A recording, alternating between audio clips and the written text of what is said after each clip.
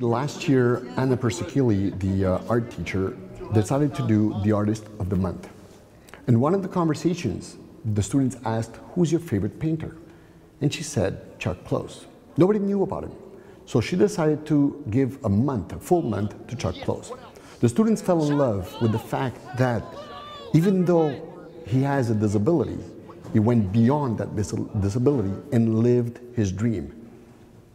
From that moment, they all decided to have a dream. And the dream that we're realizing this year is to bring them to New York.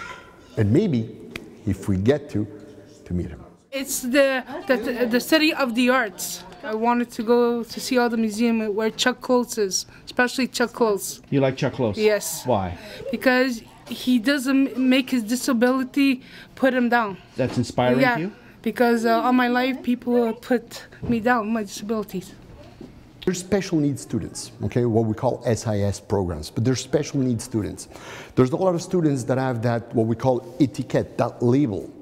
And very often parents or people around them, they say well, they're not capable because they're special needs. We put, or people around them put barriers, not knowing that they could go further. Talking about um, dreams, and we asked ourselves, what you know, what's a dream that came true for you? And she said, no dream ever came true for me. My dream is to see the artist. I've never been to New York, and I'm excited. So you've come to to learn about the art of Chuck Close. Yeah. And and tell me about that. Well, how's it important to you? He uh, inspires me because he's uh, on a wheelchair and he, he can do all the stuff. If he can do it, I can do it. The style, as you can see in the back, the style is the same way that Chuck Close does it. That means he takes a picture, he cuts a little uh, squares, and then reproduces it big. to paint the pieces. Is is come with square. Yeah. we had to paint. The beauty about this project is they didn't know what the picture was going to be. They all had to do their little square.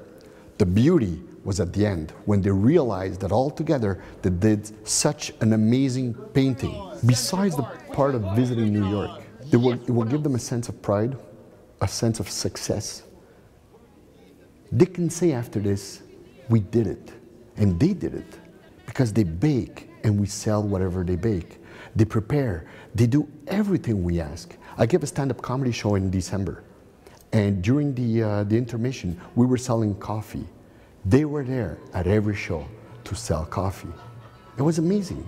It wasn't Christmas, oh, we're on vacation, oh, we can't do it, we can't make it. They were there because they believed in the cause. I'm gonna I'm gonna visit Central Park and the museum, all oh, the museums, and I'm gonna have fun and eat food.